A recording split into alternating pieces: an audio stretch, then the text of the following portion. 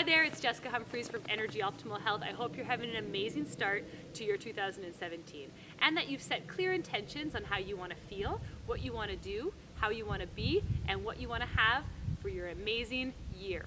Okay, so we're doing our second episode of EnerJ TV and we're going to have Bruno coming in talking about the benefits of plant protein and how to use it in an energizing smoothie. And I'm going to give you some exercises that you could do to warm up for your favorite winter sports. And stay to the end, got a little surprise. We're going to get you guys to meet our new dog, Nanook. Hey, hello everyone. This is Bruno from uh, EnerJ Optimal Health. Hope you're doing great.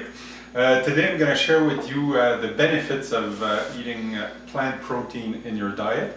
We'll discuss a little bit about uh, different types of plant protein so you can make your way around in your next grocery store tour.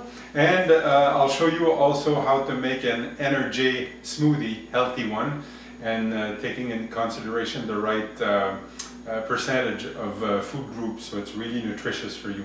So let's start with uh, the benefits of plant protein versus animal protein.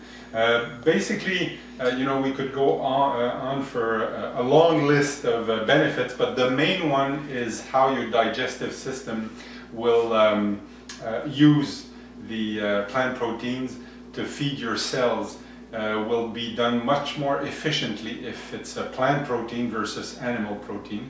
Uh, if you're a human being, if you would be a lion, it would be a different thing because your your uh, digestive system works completely different. So uh, it would also it will also create less inflammation and less acidity. Um, so that's those are two the two main advantages of eating plant uh, protein. Okay, some examples: um, almond butter make sure that uh, if you uh, do uh, pick up almond butter at your grocery store, that it's natural, non, you know, the, the oil floats on the, on the surface of the container.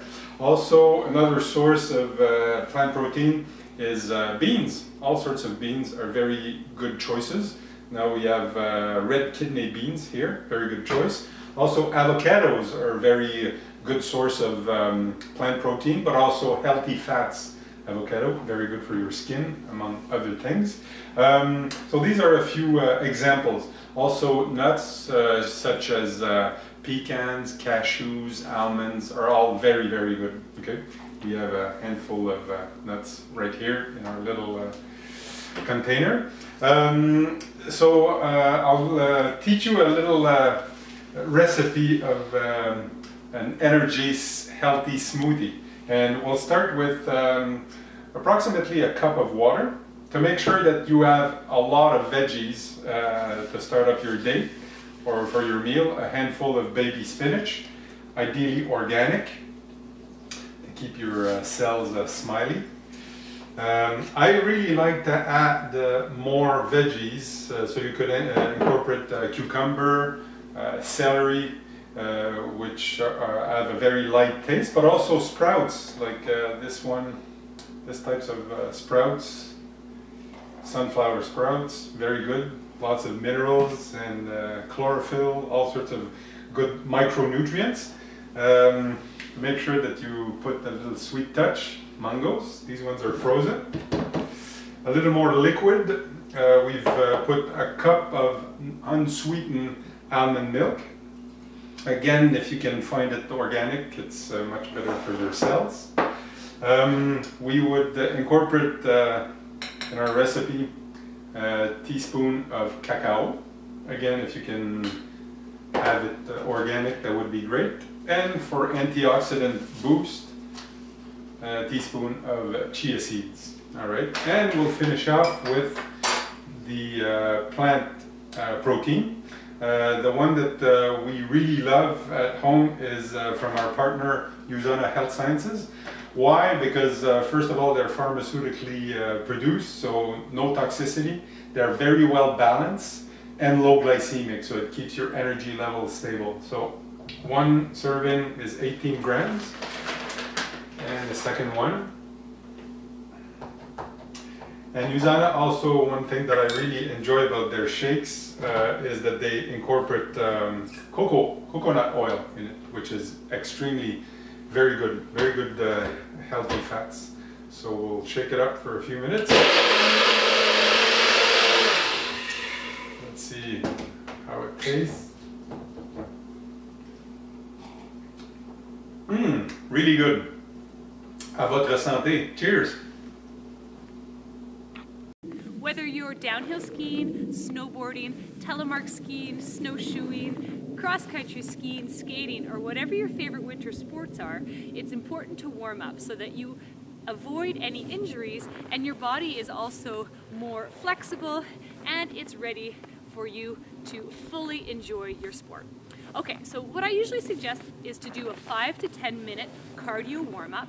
So if you're skiing or snowboarding, or if you're on a mountain, Make sure that you take an easy run down, really work on your stance and balance. You can do a few hops. You can actually do a run that has a few bumps on it so that you're working a little bit of your legs, so you're getting your cardio up.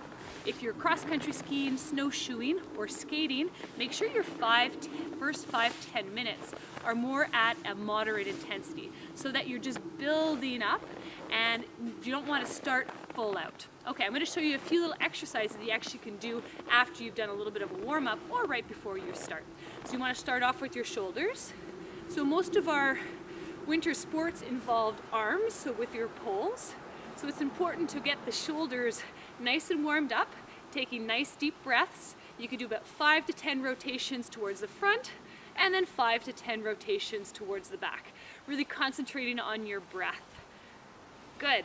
You can also do lifting one arm towards the sky and one towards the ground and then switch, making sure that you're lowering your shoulder blades and concentrating on your breath. Again, another five to 10 repetitions. You want to do some side stretches here. So you're getting your obliques ready, you're getting your arms ready. Also goes a little bit into your lats, so your the backs of your shoulders and into your upper back. So you're really stretching, reaching for the sky. All right, great. Another one is you're gonna do a bit of a rotation. So think about that there's something behind you and you wanna go reach forward and grab it and you're keeping your hips forward. Okay, you're getting a nice stretch here in your lower back. Make sure you're breathing all the way through. You could do this as a family as well. It's kind of fun. All right, two and one. You go into some hip circles. So you're preparing your lower back. Always taking nice deep breaths. Now don't worry, you're not gonna look silly if you do, if you actually start to do a warm up before you do your sports okay? Usually sometimes when I start doing a warm up, all of a sudden the person beside me will start warming up. Maybe someone over across will start doing a warm up. Okay, people feel that they look silly if they're gonna do this before, but actually is a really great way to start off. All right, change direction, so make sure you're, you're getting loose in both sides. Always with your feet firmly placed in the ground, taking nice deep breaths. All right, we also wanna do, you can also do a hip hinge. So you wanna hinge at the hip, lengthen from your head all the way to your tailbone and come up to a straight back like this. You could do about five rotations, really lengthening your spine and coming back up. I like to breathe in as I go down, breathe out as I come up. All right, last one.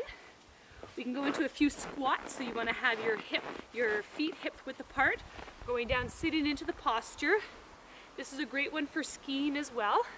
All right, so making sure you're really getting low. I like to almost try to touch my feet or my ankles while sitting into the posture. So I'm getting my upper and lower body involved in the stretch. You can do about five to 10 repetitions. Aim more on the 10 the repetitions too. Okay. We can also do step back lunges. So you step back, drop the knee, lift your arms overhead, reaching for the sky, and then change for your other leg. So you drop your knee, reach for the sky. So you're tilting your pelvis forward to get this nice hip flexor stretch. This is great for cross-country skiing, for snowshoeing, where we really use those muscles predominantly.